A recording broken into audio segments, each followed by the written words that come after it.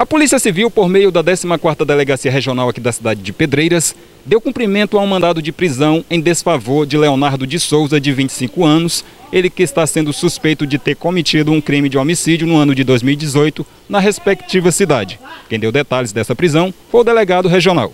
Bem, é, a gente recebeu um mandado de prisão preventiva exalado pela juíza da comarca de Joselândia, é, visando que fosse feita a prisão de dois indivíduos em, que são acusados de ter praticado um, um, homicídio no ano de 2018, no mês de fevereiro.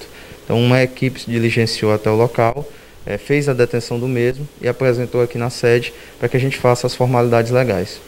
Informações sobre o que aconteceu com ele, doutor, já que ele está com deficiência física? Bem, parece que ele sofreu um acidente né, é, após o crime.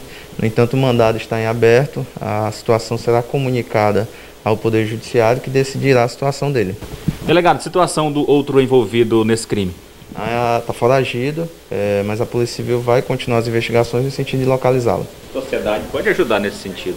Como sempre, é importante participar através do WhatsApp. Delegado, desde a época que esse cidadão é, cometeu esse crime, no ano de 2018, ele estava na cidade de Joselândia ou ele tinha é, saído de lá, se evadido? Bem, a gente recebeu diversas informações que possivelmente ele teria fugido, teria retornado. É, o fato é que a gente localizou ele agora e o mandado será devidamente cumprido.